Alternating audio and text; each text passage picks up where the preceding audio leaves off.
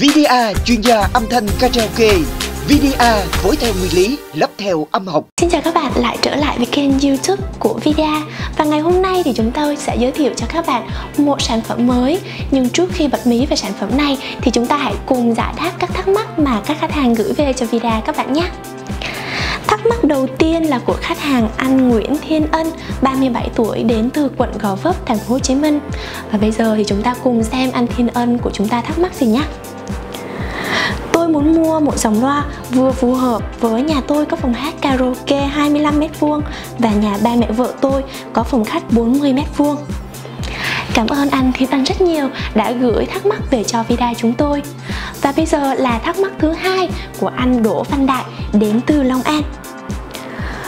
Tôi cần tư vấn một dòng loa có tiếng tăm, vừa tốt vừa bền mà giá cả phải chăng, phù hợp với dàn karaoke của gia đình tôi, gồm có một đầu SK9108 dùng mixer BFK 3000, men BFT 2.5 và micro BFG 11. Vâng, đó là yêu cầu của hai anh khách hàng gửi về cho video.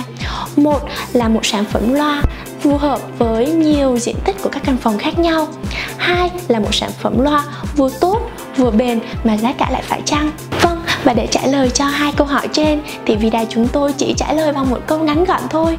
Đó chính là dòng loa BIK VG S886 ngay cạnh tôi đây Một dòng loa xuất xứ từ Nhật Bản mà video cho rằng nó phù hợp cho cả hai khách hàng trên đấy nhé BIK BG S886 với chất liệu cực tốt và thiết kế bắt mắt không chỉ mang lại độ bền cơ học cao mà còn đi đầu về tính thẩm mỹ.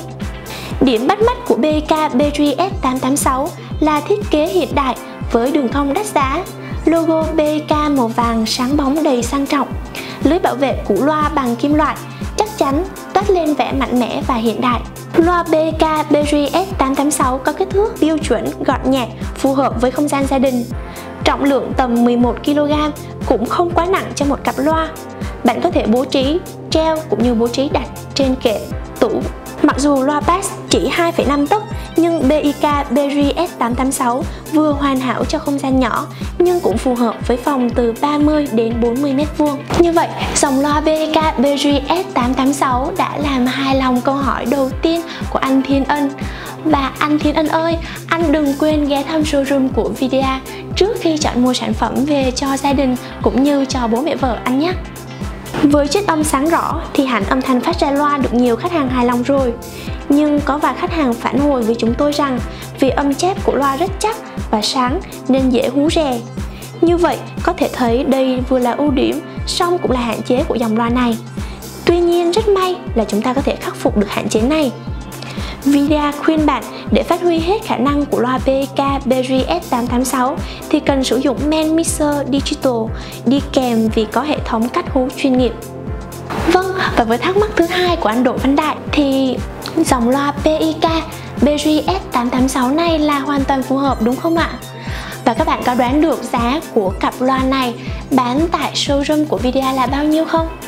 Đó chính là 8 triệu 500 nghìn đồng như vậy thì có quá mắc không ạ? Theo Thanh mình nghĩ thì đối với chất lượng âm thanh của sản phẩm thì giá này là hoàn toàn phù hợp và nếu như bạn thực sự yêu thích cặp loa PK BGS 886 thì hãy nhanh chân lên và đến ngay showroom của Videa để nhận được một bộ quà tặng vô cùng hấp dẫn. Và các bạn đừng quên like, share cũng như subscribe video của Videa các bạn nhé. Xin chào và hẹn gặp lại!